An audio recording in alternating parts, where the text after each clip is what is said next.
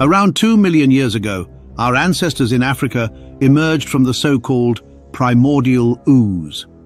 Now, research on ancient man has revealed surprising insights into ancient genetics that contradict popular beliefs about evolution.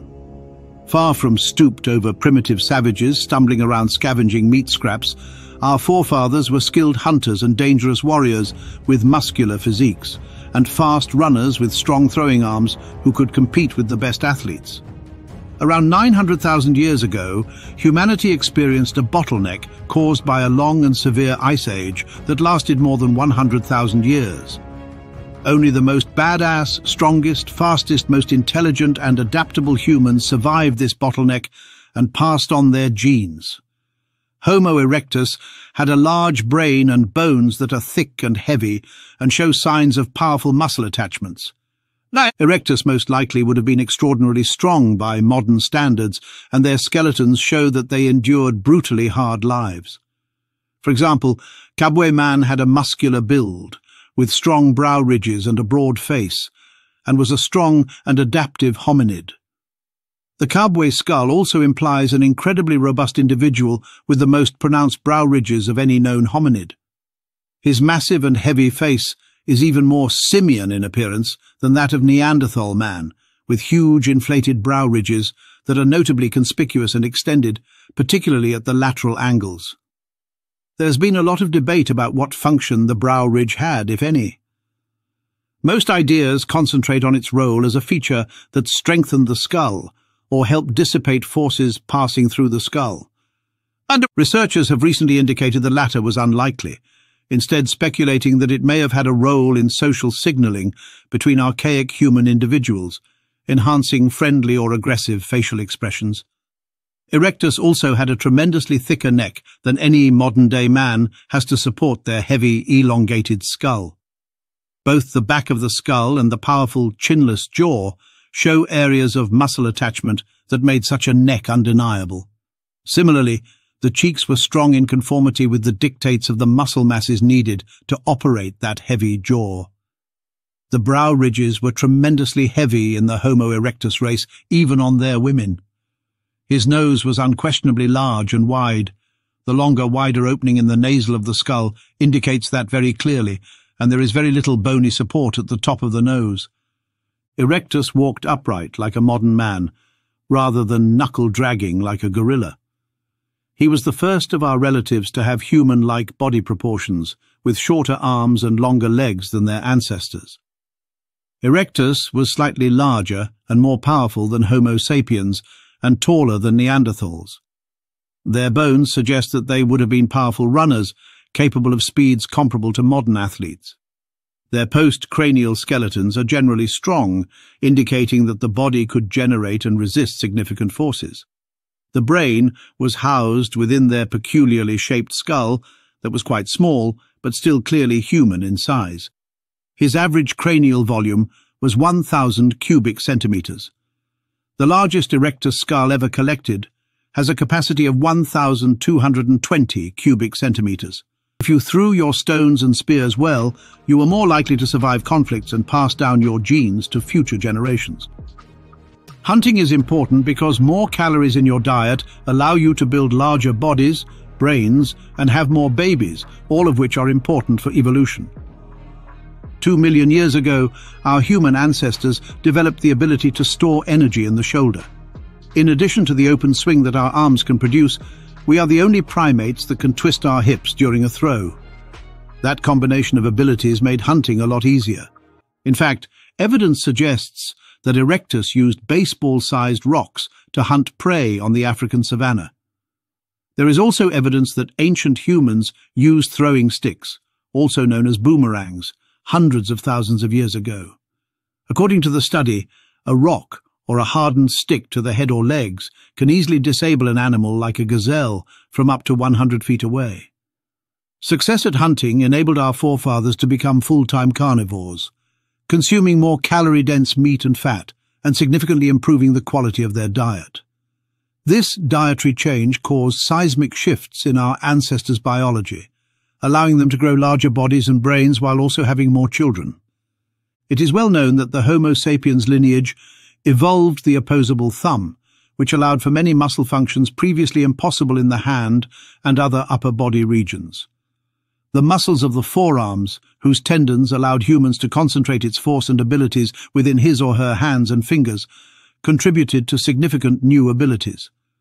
Overall, upper body muscles evolved to handle more activities that required the concentration of strength in those muscles, such as holding, throwing, lifting, hunting, and running while holding a weapon.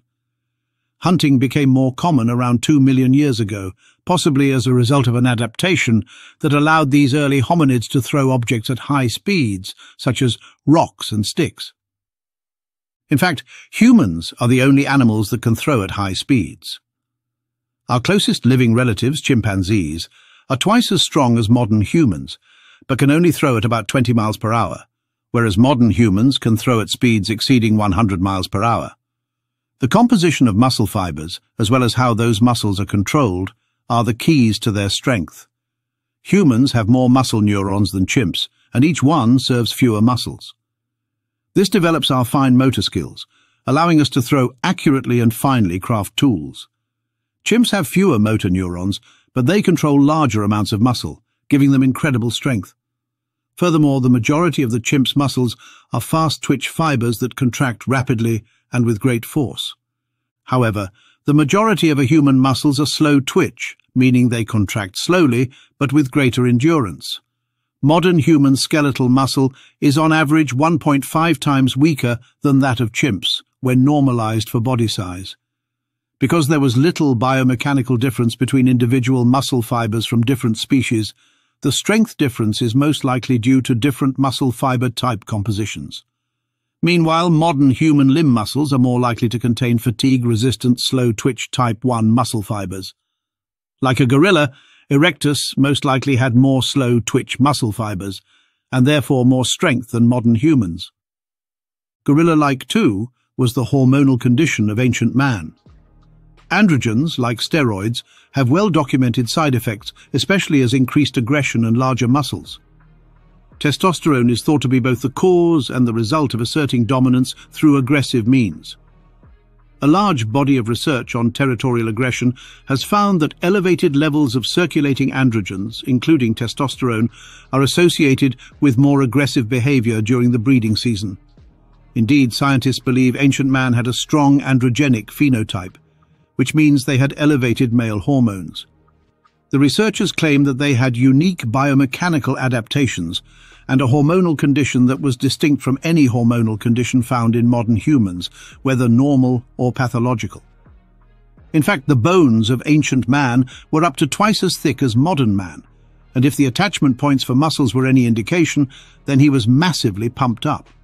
Indeed, skeletal and genetic studies prove that ancient man would have been a formidable adversary, likely from a life spent stabbing great beasts to death with wooden spears and carrying their carcasses back to his cave, where he cracked open the bones to consume the protein-rich marrow. Archaic male hunters would engage in face-to-face -face battle, jabbing long, thick spears directly into an animal's flesh. Erectus was a woodworking, fire-using, spear-wielding beast who strangely enjoyed drilling holes into objects for unknown reasons. In his humble way, Erectus could make tools, including stone knives and hatchets for his chores. And these hominids appear to have been very particular about their clothing, using stone tools to soften and depress animal hides. The new discoveries suggest that our ancestors were more sophisticated than previously thought. The use-wear analysis tools yield several interesting findings. Analysis of the base of stone tools reveals that the hominid likely attached stone points to sticks, resulting in a sort of spear. It's an important step in human development because it requires combining two materials, a stone tip and a stick, to create a composite tool. Researchers are also investigating whether Erectus used any type of sticky organic material to aid in the process of hafting a spear. They also discovered evidence from use-wear analysis that Erectus was working wood, which did not survive, with stone tools, possibly to convert it into wooden tools. Perhaps the strangest discovery was evidence of drilling. We don't know what or why the hominids were drilling, but they were undoubtedly using stone tools. Finally, the analysis demonstrates that they were interested in clothing. A certain proportion of tools were used for working and scraping hides. If they soften the hides, they can use them to make clothes, which no Stone Age hominid would dare to live without. Erectus is the oldest known human race and the direct ancestor of modern man. He evolved two million years ago and was no genius by our standards. He had ape-like teeth and jaws and ate animals, nuts, seeds, and on occasion other humans. But he was our direct ancestor, and his spawn should not be ashamed of his background. Indeed, far removed from the mental level of the apes, Erectus knew how to wield fire, the greatest single discovery of the human race. And with that tantalizing statement, we leave you to ponder the mysteries of our shared human history. Until next time, stay curious and stay questioning. Also, please subscribe, share and explore our channel's other videos. Thank you and take care.